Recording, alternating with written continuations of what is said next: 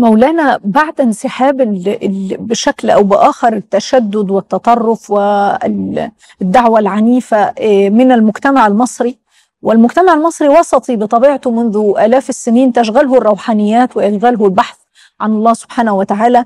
فأصبح هناك ما يشبه حالة آه، ليس فراغا تاما وإنما وجود مساحات تحتاج لأن نشغلها. هذه المساحات بما نشغلها؟ هل ال- ال- البحث عن الله سبحانه وتعالى من خلال الصوفية ومن خلال التصوف هو آه، وسطية كافية تناسب المجتمع المصري في هذه الفراغات المتاحة أم أن هناك أمور أخرى يمكن أن تكون موجودة أيضا؟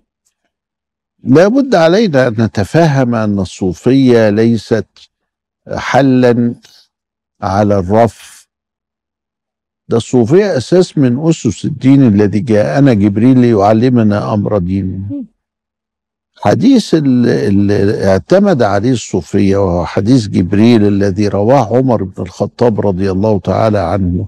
بين نحن جلوس عند رسول الله صلى الله عليه وسلم إذ خرج علينا رجل شديد بياض الثياب شديد بسواد الشعر لا يعرفه أحد منا وليس عليه أثر السفر.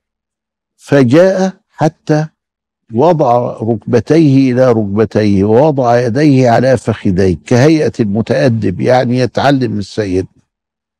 وسأله ما الإيمان ما الإسلام ما الإحسان؟ وكل ما يسأله يقول له أنه كذا فيقول صدقت.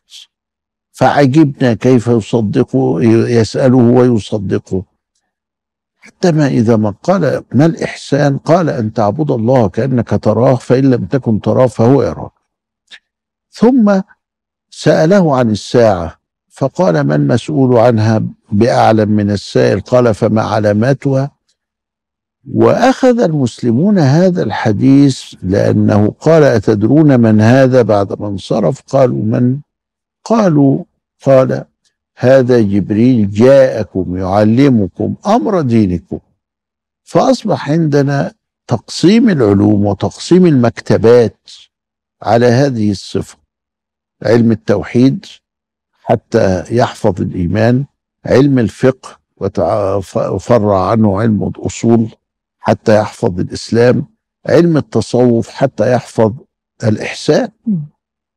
والدراسات المستقبلية التي سميت بالفتن والملاحم حتى ندرس ما الذي سيكون وما طريقة مواجهة هذا الكائن عندما يكون هذا قسم ألف فيه ابن كثير وألف فيه نعيم بن حماد وألف فيه آه، آه، ناس كتير.